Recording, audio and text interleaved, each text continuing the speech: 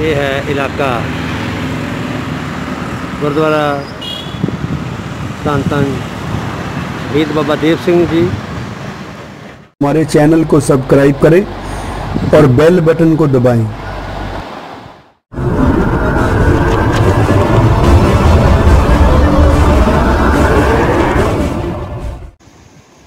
ਸਤਿ ਸ਼੍ਰੀ ਅਕਾਲ ਦੋਸਤੋ ਇੱਕ ਵਾਰ ਫੇਰ ਸਵਾਗਤ ਹੈ ਕਾਨੂੰਨੀ ਸ਼ਿਕੰਜਾ ਵੈਬ ਟੀਵੀ ਤੇ ਤੁਹਾਡਾ ਮੈਂ ਹਾਂ ਗੋਬਿੰਦ ਰਾਏ।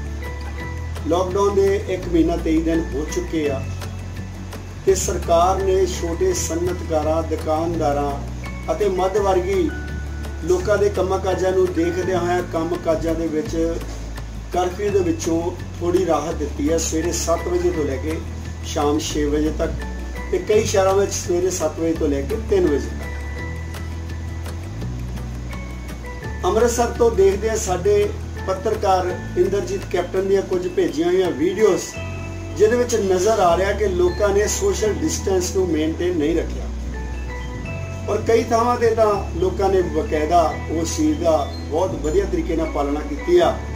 ਪਰ ਜਿਸ ਥਾਂ ਤੇ ਇਸ ਚੀਜ਼ ਦੀ ਪਾਲਣਾ ਨਹੀਂ ਹੋਈ, ਉਸ ਥਾਂ ਤੇ ਕਰੋਨਾ ਵਾਇਰਸ ਵਰਗੀ ਬਿਮਾਰੀ ਨੂੰ ਫੈਲਣ ਤੋਂ ਕੋਈ ਰੋਕ ਨਹੀਂ ਸਕਦਾ।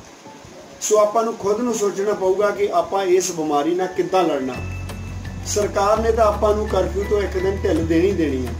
ਪਰ ਇਹ ਬਿਮਾਰੀ ਜਿੰਨਾ ਚਿਰ ਵੈਕਸੀਨ ਨਹੀਂ ਆਉਂਦੀ ਇਹਦੀ ਉਹਨਾਂ ਚਿਰ ਹਿੰਦੁਸਤਾਨ ਚੋਂ ਜਾਣੀ ਨਹੀਂ। ਸੋ ਇੱਕ ਮਾਸਕ ਪਾਉਣ ਨਾਲ ਜਾਂ ਕਿਸੇ ਆਪਣਾ ਬਚਾਅ ਨਹੀਂ ਹੋਣਾ, ਪੂਰੇ ਬਹੁਤ ਵਧੀਆ ਤਰੀਕੇ ਦੇ ਨਾਲ ਘੱਟ ਤੋਂ ਘੱਟ 5-6 ਫੁੱਟ ਦੀ ਦੂਰੀ ਬਣਾ ਕੇ ਰੱਖੋ, ਮਾਸਕ ਪਾ ਕੇ ਰੱਖੋ, ਸੈਨੀਟਾਈਜ਼ ਕਰਦੇ ਰੱਖੋ, ਆਪਣੇ ਹੱਥਾਂ ਦੇ ਗਲਵਜ਼ ਪਾ ਕੇ ਰੱਖੋ, ਤਾਂ ਹੀ ਆਪਾਂ ਇਸ ਕਰੋਨਾ ਵਰਗੀ ਬਿਮਾਰੀ ਤੋਂ ਬਚ ਸਕਦੇ ਹਾਂ। ਆਓ ਦੇਖਦੇ ਹਾਂ ਅੰਮ੍ਰਿਤਸਰ ਤੋਂ ਕੁਝ ਤਸਵੀਰਾਂ। ਸਾਡੇ ਪੱਤਰਕਾਰ ਇੰਦਰਜੀਤ ਕੈਪਟਨ। ਲਾਕਡਾਊਨ ਦੇ ਦੌਰਾਨ ਪੰਜਾਬ ਸਰਕਾਰ ਵੱਲੋਂ ਦਿੱਤੀ ਗਈ ਥੋੜੀ ਜਿਹੀ ਰਾਹਤ ਤੋਂ ਬਾਅਦ ਤੁਸੀਂ ਵੇਖ ਸਕਦੇ ਹੋ ਕਿ ਅੰਮ੍ਰਿਤਸਰ ਦੇ ਇਲਾਕਾ ਹਾਲਗੇਟ ਦੇ ਵਿੱਚ ਔਰ ਉਸ ਦੇ ਆਸ-ਪਾਸ ਇਲਾਕਿਆਂ ਦੇ ਵਿੱਚ ਕਿਸ ਤਰ੍ਹਾਂ ਲੋਕਾਂ ਦਾ ਜਿਹੜਾ ਉਹ ਭਾਰੀ ਇਕੱਠ ਔਰ ਗੱਡੀਆਂ ਦੀ ਆਵਾਜਾਈ ਜਿਹੜੀ ਹੈ ਬਿਲਕੁਲ ਨਿਰਵਿਘਨ ਚੱਲ ਰਹੀ ਹੈ।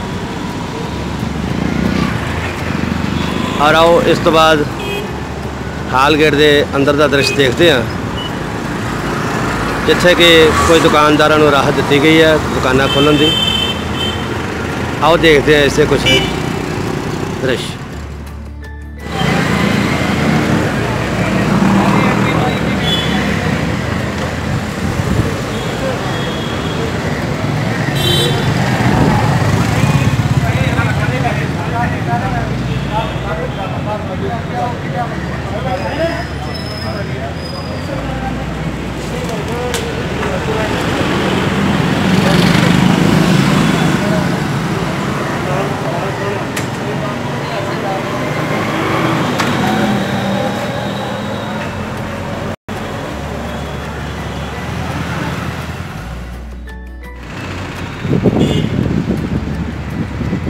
ਲਾਕਡਾਊਨ ਦੇ ਦੌਰਾਨ ਮਿਲੀ ਰਾਹਤ ਤੋਂ ਬਾਅਦ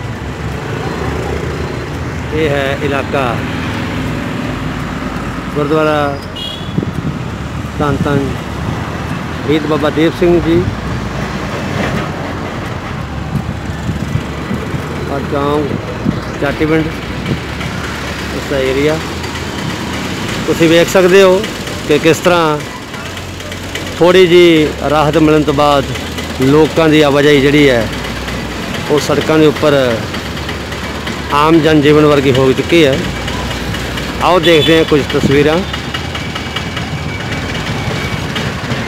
ਅੰਮ੍ਰਿਤਸਰ ਦਾ ਇਲਾਕਾ ਤਰਨਤਾਰਨ ਰੋਡ, ਚੌਂਕ ਚਾਟੀਵਿੰਡ